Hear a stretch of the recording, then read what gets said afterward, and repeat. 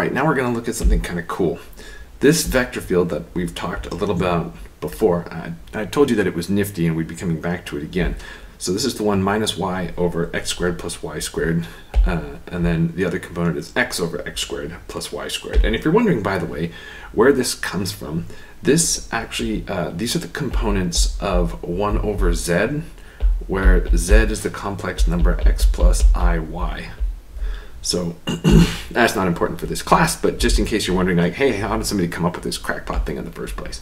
So we're going to show that this f is exact but not conservative on its domains. So to check exactness here, we have to check that um, uh, dq dx is equal to dp dy, right? So here, this is going to be our p, and this is going to be our q. So if we do um, dp dy, I've got minus y over x squared plus y squared, and I'm going to take its derivative with respect to y, so I'll need to use product rule. And we've got our little, whatever, hody high minus hidey ho over ho ho, or whatever you want to do. Um, so we've got um, ho d high um, minus high d ho all over ho ho. Okay. Um, so there's there we have the one and the top simplifies. Let's see, the um, I've got uh, a minus y squared plus two y squared, so I end up with y squared minus x squared, and that business on the bottom. And then if I do dq dx, I, I get the same thing. Um, well, you knew that because I told you it was going to work out, but okay, so let's do it. So we've got um, ddx of x over x squared plus y squared.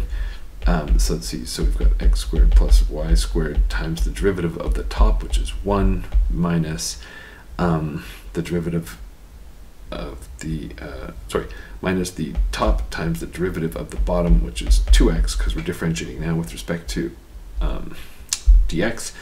And then on the bottom we have the whole thing squared.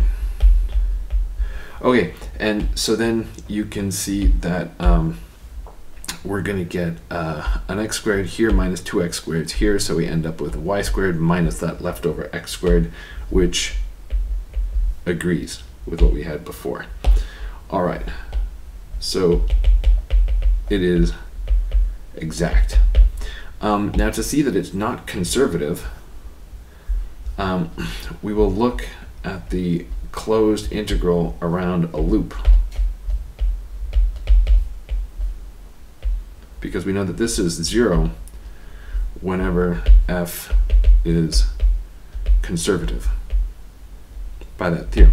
Now to prove directly that there cannot exist uh, a potential for f so that f is the gradient of that potential, that would be hard. So we're going to appeal to the theorem instead. So um, if we consider c of t just to be the uh, usual unit circle, so we'll do cosine t sine t as t goes from whoops uh, 0 to 2 pi, then let's see, the uh, integral of f dot dc over this is going to be, and let's see, so the x squared plus y squared is going to be cosine squared plus sine squared, so the denominator is just going to end up equaling 1. So that's awfully pretty. Um, let's see, so we've got 0 to 2 pi. F of c of t looks like uh, minus sine t over cosine squared plus uh, sine squared. And then we've got uh, cosine t over cosine squared plus sine squared. And then this is dotted with uh, the derivative of c. So this is going to be um, minus sine t comma uh, derivative of sine is cosine t dt. And so we end up with, let's see, the integral from 0 to 2 pi sine squared plus cosine squared dt, and then again by Pythagoras, this is all equal to just 1. So we end up with 2 pi. And so 2 pi, you may have noticed, is not equal to 0. So f cannot be conservative.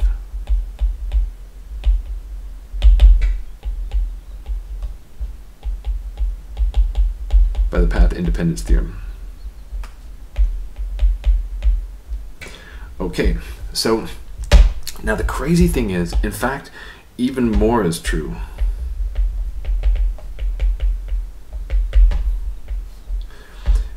So if C is any simple closed curve,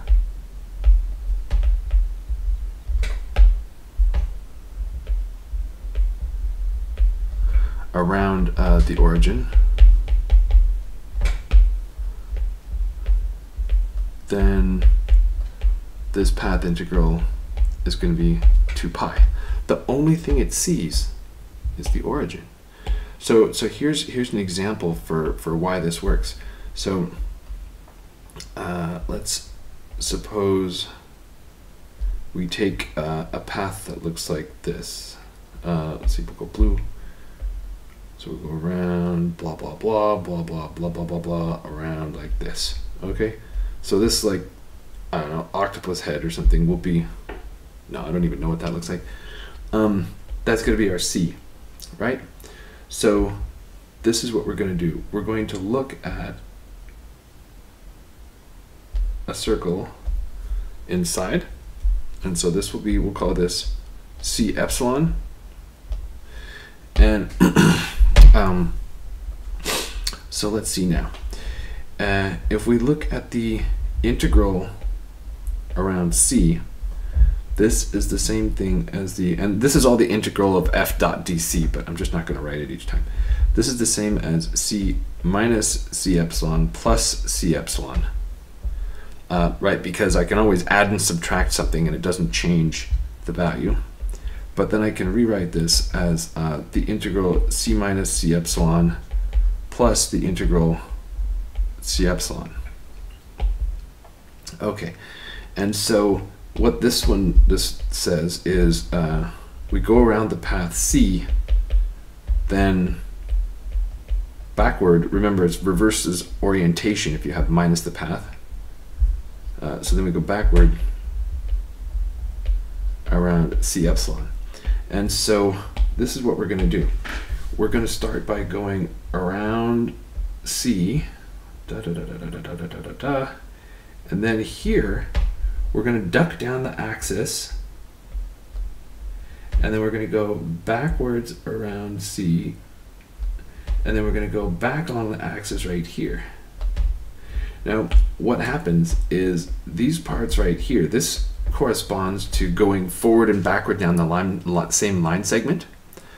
And so these cancel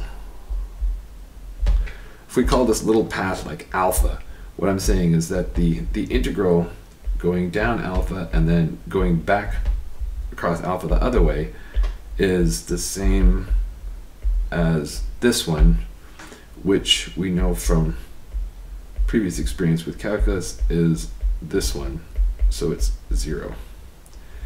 Okay, so how does this work? Well, all I need, to, so I can now do two, uh, there's now two steps left of this, this argument here. So we're going to show that the integral over c minus c epsilon of f dot dc is equal to zero and that the integral over the little mini circle is equal to 2 pi. Okay, and then now let's see. If we look at uh, the first one, for this here, um, we have that the domain is simply connected. So let's let's see what is going on here that's causing all the issues. It's that there's this hole in the domain right here in the center, right? The domain of this vector field does not include the origin. So now if I look at the purple path, maybe I'll redraw uh, a sketch of the purple path uh, just down below here. Oh God, why did I make it so complicated? Okay, so it really now looks like the, the head of a skull or something. Okay, so we go over and then down and then around and then the wibbly wobbly woo and then up here. Oh, dang it! And I was doing so well. Okay, try it again. Don't slow down this time. Okay, wobble wobble wobble, bump. Okay, up, back, around, and out. Okay, now this domain has no holes in it because we're looking at this. The only hole that uh, would cause us a problem is the one at the origin, but the origin is not inside this region. It is right here, and that is not inside the green zone.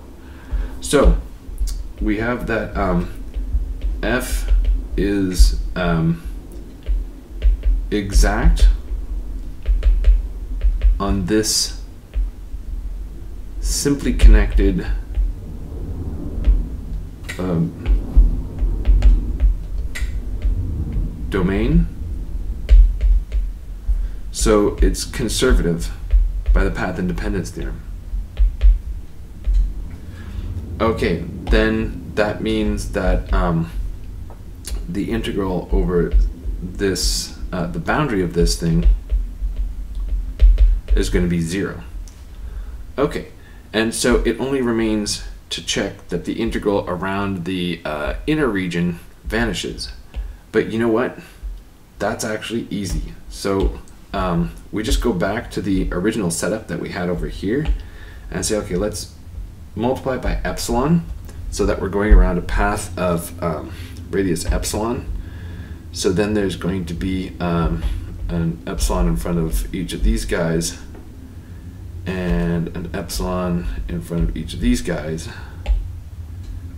And uh, let's see what else happens. So we have um, epsilon squared over here and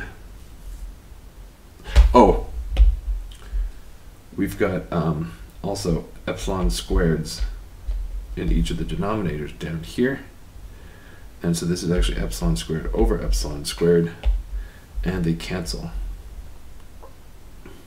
Okay, so we get the same thing.